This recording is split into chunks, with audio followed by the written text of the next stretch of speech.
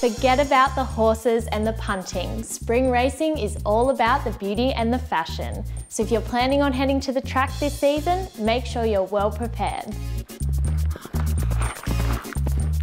Choosing your dress at the last minute can often end in frustration and tears. Check for any dress codes and get your outfit sorted early so that you can coordinate accessories and makeup from there. Don't make the mistake of buying new shoes and then not wearing them until race day. Walk around in them as much as possible the week before to avoid any blisters and foot pain.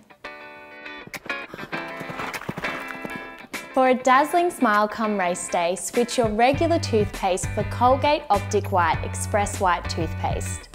Its unique enamel-safe formula is great for daily use and it contains twice the whitening ingredient, hydrogen peroxide, than regular Colgate Optic White.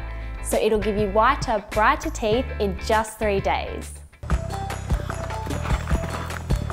If you're going to wear a fascinator, hat, or any type of hair accessory, practice your hairstyle so that you can easily master it on the day.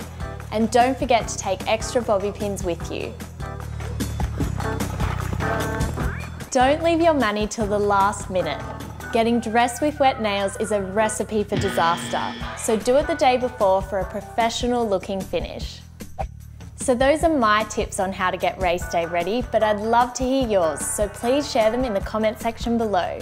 And if you'd like to read reviews on the Colgate Optic White Express White toothpaste, click on the eye up here.